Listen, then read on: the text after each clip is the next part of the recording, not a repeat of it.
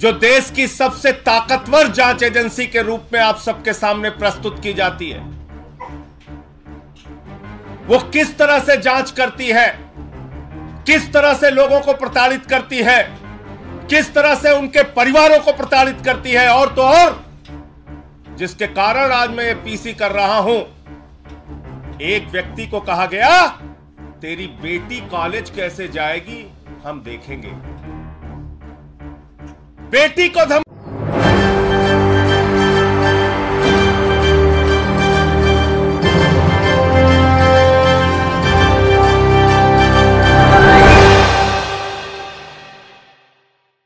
देश के प्रधानमंत्री नरेंद्र मोदी का एक बयान आपको याद होगा, जिसमें वो लगातार ये कह रहे थे कि ईडी सीबीआई की कार्रवाई नहीं रोकेगी। आखिर क्यों? इस तरीके का बयान देश के प्रधानमंत्री नरेंद्र मोदी दे रहे हैं। क्या ये मान लिया जाए कि देश के प्रधानमंत्री अहंकार दिखा रहे हैं? क्या ये मान लिया जाए कि बीजेपी पार्टी कहीं ना कहीं कांग्रेस पार्टी या तमाम विपक्ष की पार्टियों को सबक सिखाना चाहते हैं? या फिर ये मान लिया जाए कि जिस राज्य में बीजेपी की सरकार नहीं है वहाँ वहाँ कहीं ना कहीं ईडी सीबीआई की कार्रवाई चलती रहेगी।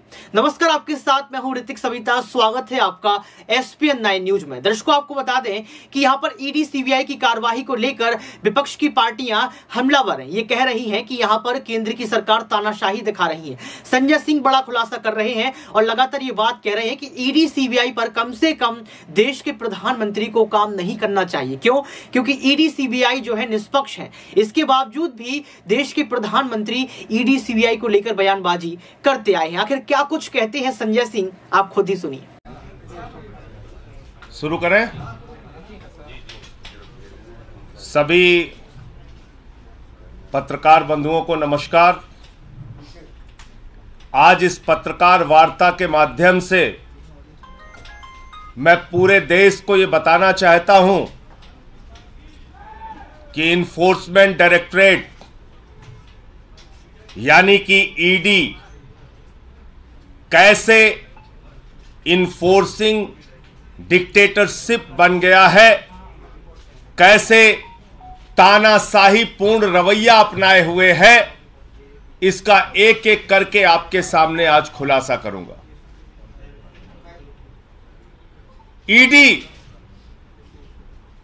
जो देश की सबसे ताकतवर जाँच एजेंसी के रूप में आप सबके सामने प्रस्तुत की जाती है। वो किस तरह से जाँच करती है? किस तरह से लोगों को प्रताड़ित करती है? किस तरह से उनके परिवारों को प्रताड़ित करती है? और तो और, जिसके कारण आज मैं ये पीसी कर रहा हूँ। एक व्यक्ति को कहा गया, तेरी बेटी कॉलेज कैसे जाएगी, हम देखेंगे। बेटी को धमकी, पत्नी को धमकी, बूढ़े माँ बाप को धमकी मारना, पीटना, प्रताड़ित करना। और उसके बाद जबरन बयान लेना।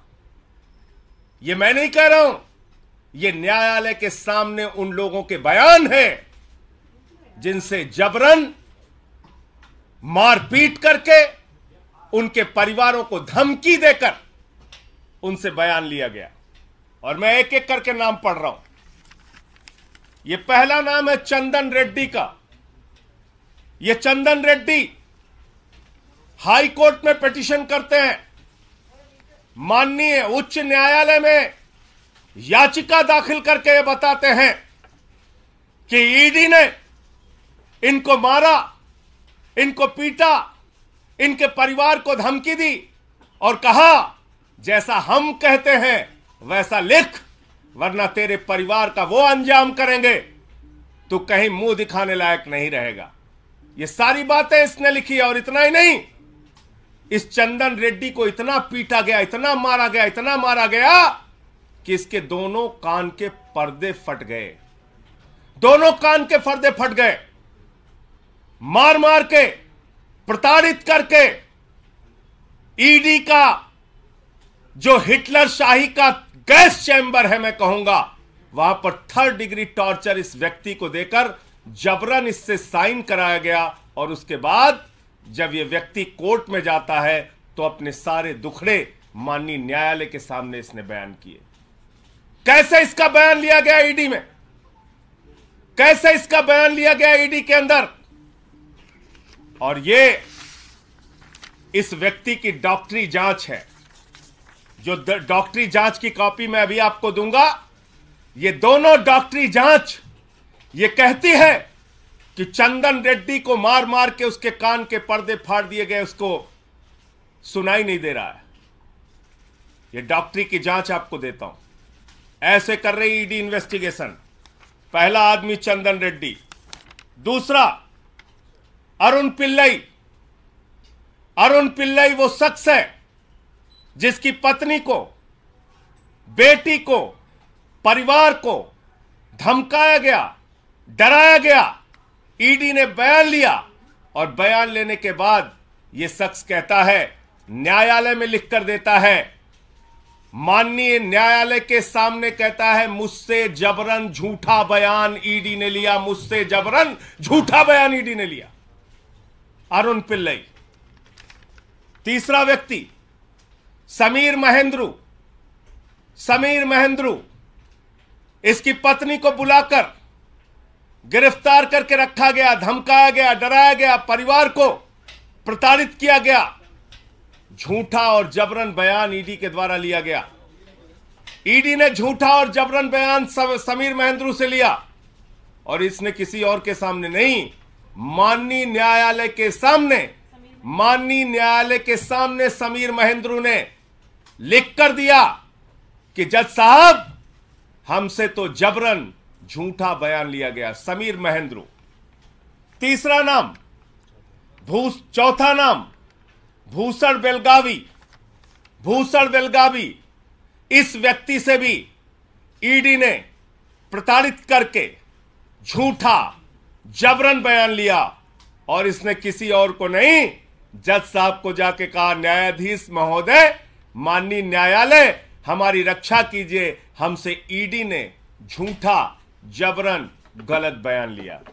पांचवा नाम, मनास्वामी प्रभु ने, मनास्वामी प्रभु ने, इससे भी ईडी ने जबरन झूठा ज़बरदस्ती का बयान लिया और बाद में इसने भी न्यायालय को लिख के दिया। किसी और को नहीं। ध्यान दीजिएगा मेरी बात को। माननीय न्यायालय को लिख कर दिया कि न्यायाधीश महोदय जज साहब, मुझसे ईडी वालों ने जबरन झूठा, ज़बरदस्ती प्रताड़ित करके बयान लिया। छठवां नाम, राघव रेड्डी। ये राघव रेड्डी छठवां नाम। राघव रेड्डी इसने न्यायालय के सामने जाकर कहा कि न्यायाधीश महोदय, हमको तो दबाव बनाया जा रहा है राजनीतिक नेताओं के नाम लेने के लिए। हम पर दबाव बनाया जा रहा है। राजनीतिक नेताओं के नाम लेने के लिए। मैं पूछना चाहता हूँ, किसके इशारे पर ईडी काम कर रही है? किसके दबाव पर ईडी काम कर रही है? किसके डायरेक्शन पर ईडी काम कर रही है? क्योंकि एक बहुत चौंकाने वाली बात इनके हाई कोर्ट के पिटीशन में लिखी हुई है, चंदन रेड्डी के। क्या कह रहे हैं ये? कह रहे साहब ईडी के अधिकारियों ने तो मारा पीटा, कान के पर्दे फट गए। वहाँ कुछ ऐसे भी लोग थे जिन्होंने हमको मारा पीटा, जिनको जो ईडी के ऑफिशियल्स भी नहीं थे। ऐसे लोग थे जो ईडी के अधिकारी नहीं थे। उन्होंने भी हमारे साथ मारपीट की।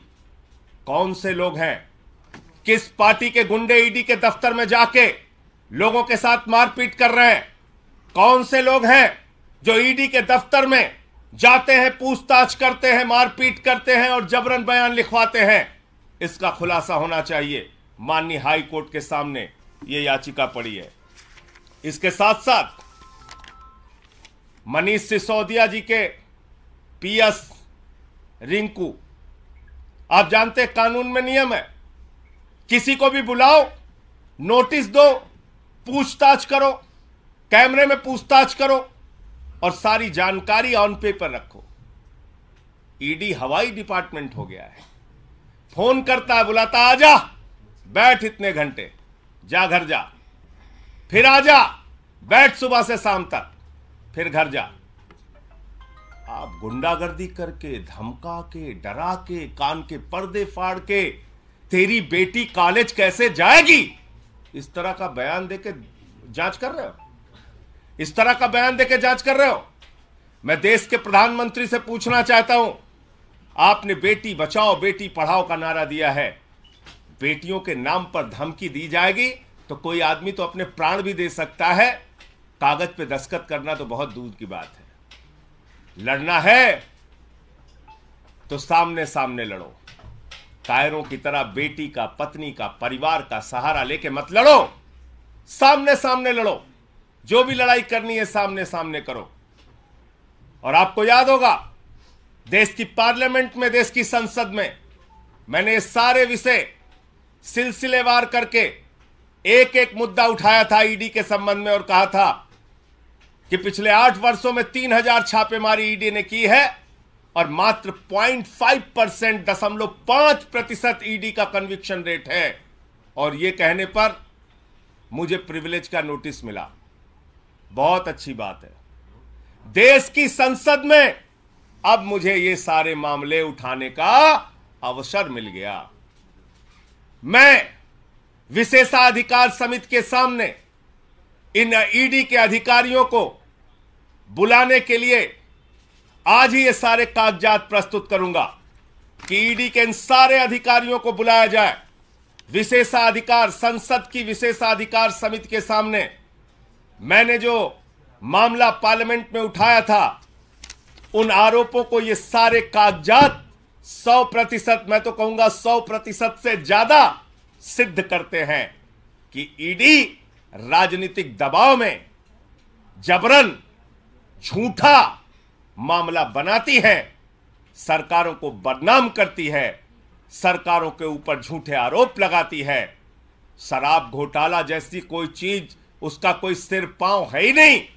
जिन लोगों के जबरन बयान लेकर ईडी ने ये सारे मामले बनाए हैं, वो तो न्यायालय के सामने जाकर कह रहे हैं, हुजूर, हमें तो मारा जा रहा है। हमारे तो कान के पर्दे फाड़ दिए जा रहे हैं। हमारे परिवार पे दबाव बनाया जा रहा है। हम पे दबाव बनाया जा रहा है और झूठे बयान लिए जा रहे हैं।